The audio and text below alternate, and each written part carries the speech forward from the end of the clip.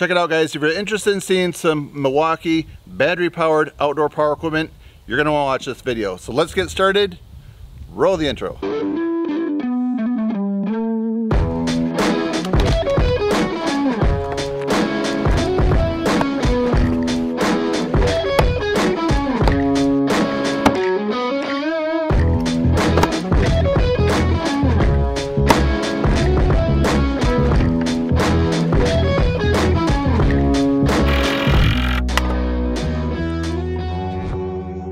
If you buy the Milwaukee M18 fuel string trimmer combo, you will get the 9 amp hour battery with it right here. But we're going to take this one out. So this is the 9 amp hour. We're going to switch to the 12 amp hour. This is the high output battery. You can see it's definitely a little bit bigger. So we're going to see how much we can cut using several attachments. The first project I'm going to do is test out the edger for the first time. Okay, I've got it fully charged. I'm gonna start down there, work this way, and then do the other side going back.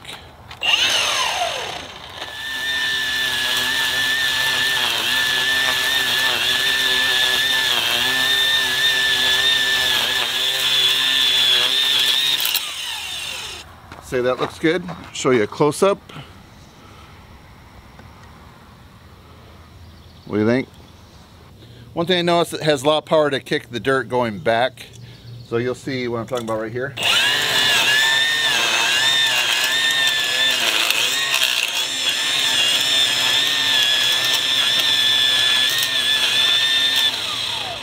Seem to find my favorite setting with the wheel right in the middle. You can see that right there. That works the best. Okay, I'm on a garage storage building right now. A couple years ago I cut all the tree limbs right here that are growing over the roof. This backs up to a woods. So it's mostly, I believe, box elder trees right here. They're uh, maple variety.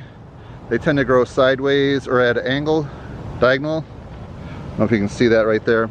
So I'm gonna cut them back with the Milwaukee pole saw. I'm gonna stand on the ground down there and cut up. I've had bar oil in this overnight and the good thing is I haven't noticed any leaks. So that's good. So now we took off the edger, put on the pole saw, ready to cut. And before I get started with the chainsaw, I just want to say make sure you have the proper safety gear, personal protection equipment. Let's go.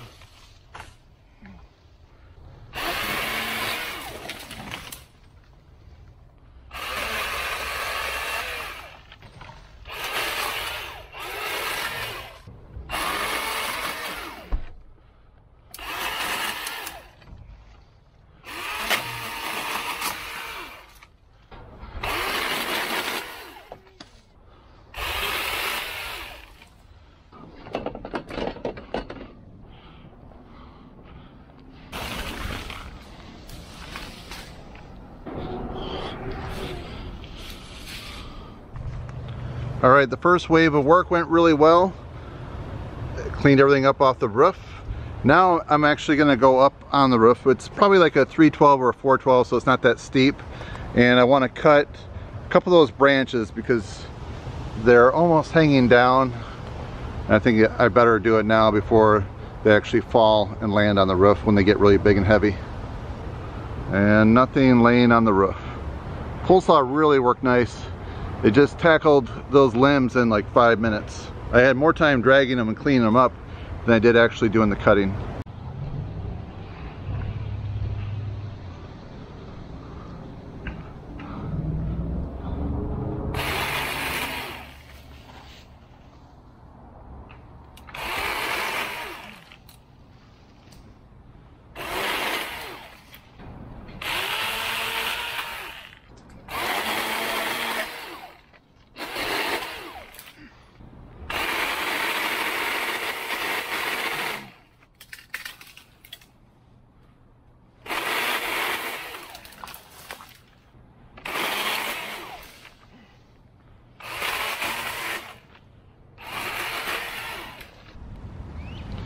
So the chainsaw worked really well for me. Let's see how much we have left. I'm at three out of four bars after running the sidewalk edger and the pole saw. So I took the pole saw off. Now we're gonna install the hedge trimmer. I find it works best to have this on the ground. Sarah from Cop Tool posted on Instagram. That's her little hack to make it work better. So now take this off. Ready? Go do some trimming. I'm gonna trim that small bush. I'm gonna trim this bigger one right here. Just kind of clean it up a little bit. I like to do it flat on top, kind of like a 45 degree bevel there, and then uh, have an angle taper in a little bit and uh, kind of clean up the bottom. Same with this right here. I did this a couple months ago. You see it needs a little cleanup. It's a little tricky working around the pole right there, but I'll try not to hit it with the trimmer.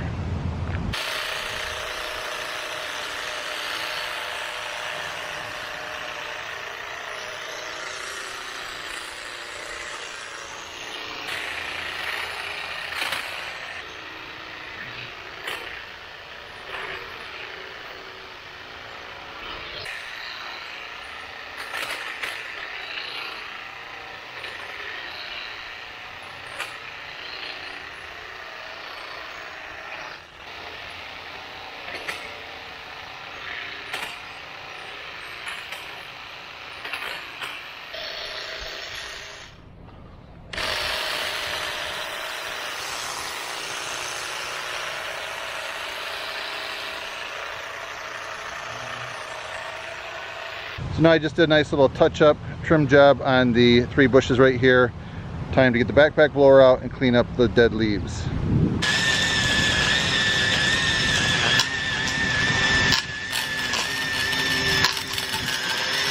So my next project is to edge this section of sidewalk right here all the way past that driveway a little bit, about 20 feet, both sides.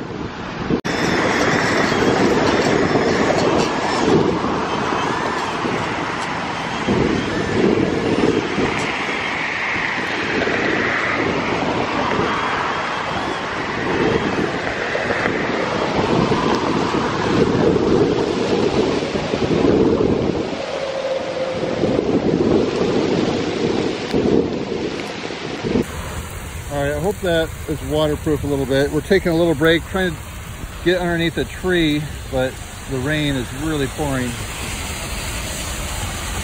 All right, try this again later.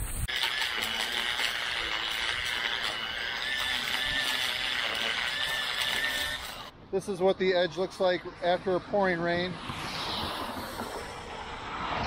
All right, so you had a chance to see a lot of the accessories with this. The one that I didn't show you yet is the line trimmer itself. I made a review of this in the early spring, really before any weeds and tall grass, before that was really out yet. So I'm on two bars right now, so I'm gonna do a little bit of trimming over here and then over there in the ditch.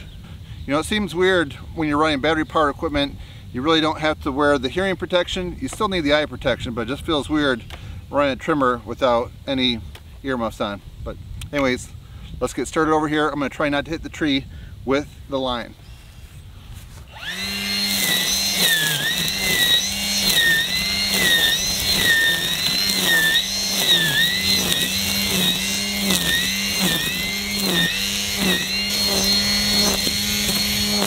I didn't mention this video, but there is a high and a low speed, just in case you're seeing this review for the first time.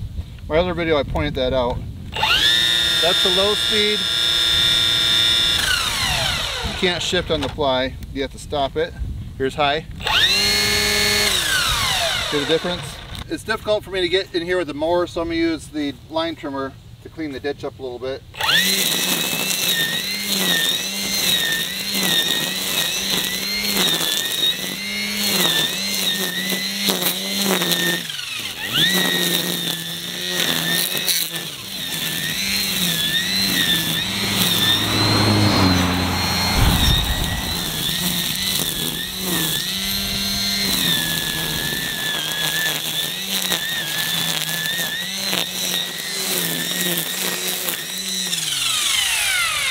One bar left. All right, so I, here's what I did. I cleaned up all around here, inside the landscape bed, and then this ditch right here.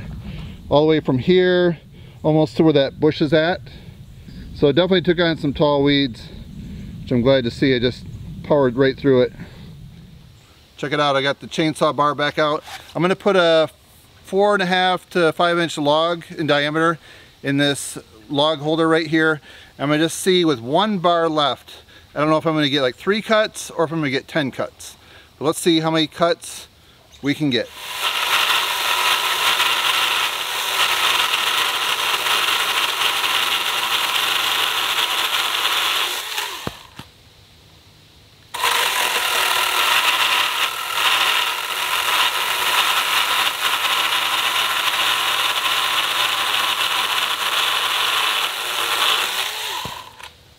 That's two so far. I'm gonna move the camera. I just set the camera up to get another one and then I picked this up, pulled the trigger and nothing. So when I push that button, the red light there, see if you can see it right there, the red light is blinking.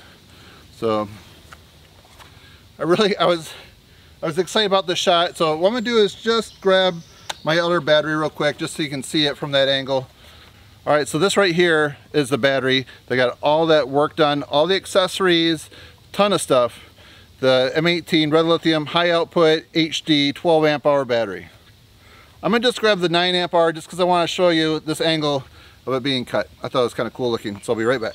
This one has two bars left on it, so I just want to show you guys that it's the battery itself that ran out. It's not overheating. I have heard some comments you guys running some of the Milwaukee outdoor power equipment and saying that it may have overheated and it shut down for a little while. So if that's happened to you, let me know. It happened one time to me when I was running the trimmer pretty hard. Let's see how this works.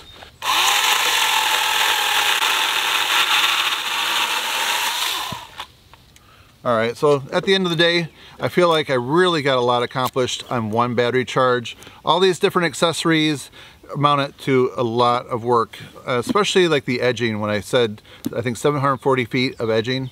And then all the other things I did too, it's amazing. So I think you're gonna be really happy if you upgrade to the 12 amp hour battery. You know, in this video, I'm sure I could have got a lot done with the 9 amp hour battery, but since I had a 12 amp hour battery that came with this right here, if you wanna see this video, the Super Sawzall with the 12 amp hour battery, I'll have a link to this down below too. So I think if you're looking to go out and do some work, you're going to be very happy with what you can get done on one 12 amp hour battery. Let me know down below what kind of experiences you've had if you've tried this. If you have any questions about any of the accessories, anything I left out, let me know. I'll be happy to respond. So hopefully I've been able to help you guys learn more about all this stuff. So if you find the video interesting, informative, and helpful, please give it a thumbs up and help support my channel. That's it, friends. Thanks for watching. See you next time.